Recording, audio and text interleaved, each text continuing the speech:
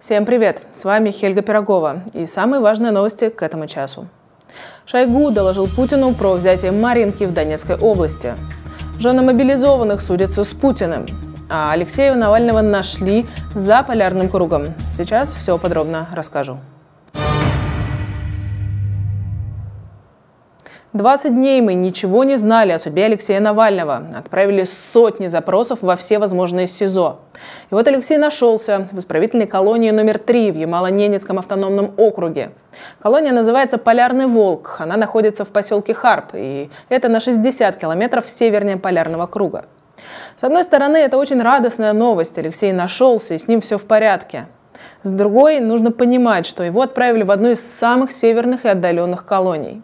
Там очень суровая зима и повышенный уровень радиации. Колония со всех сторон окружена тундрой и скалистыми горами. Связываться с заключенными очень сложно. Онлайн-сервисов там нет, а бумажные письма оттуда могут идти несколько недель.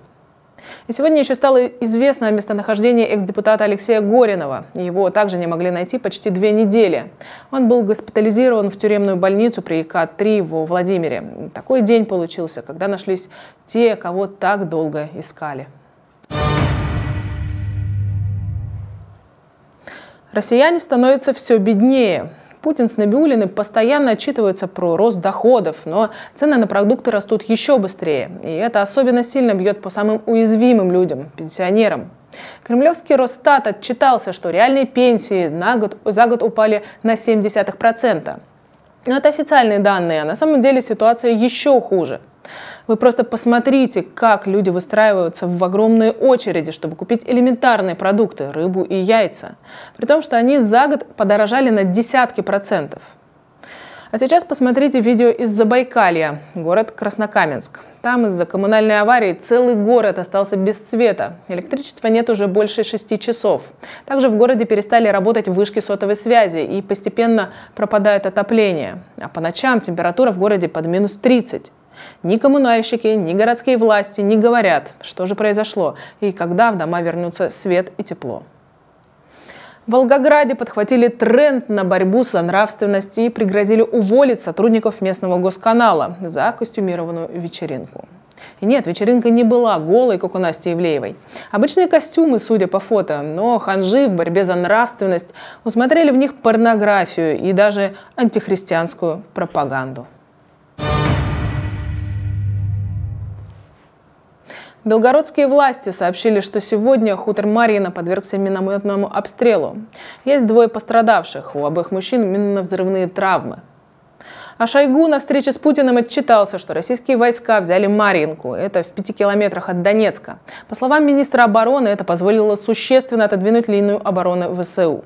Маринка – небольшой город с населением в 10 тысяч человек, который российская армия буквально стерла с лица земли. Например, вот так город выглядел 9 месяцев назад, а как он выглядит сейчас, страшно представить.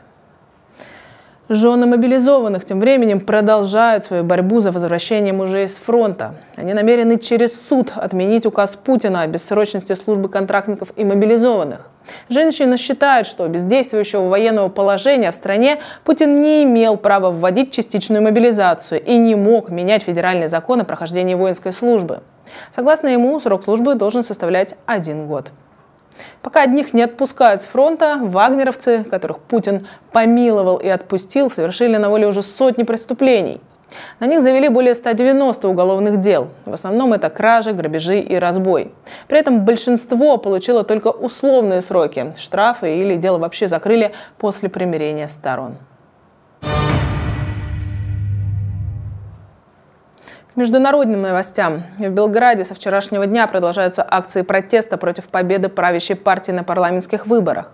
Премьер-министр сообщила, что никакого Майдана в Сербии не будет, и предотвратить его помогли российские спецслужбы. О подготовке беспорядков в городе, по ее словам, сербские власти проинформировали именно они. А вот кадры из другой части света. Это Мексика. Там около 8 тысяч мигрантов сегодня направились к границе с США. В начале колонны у них на транспаранте написано «Побег от нищеты».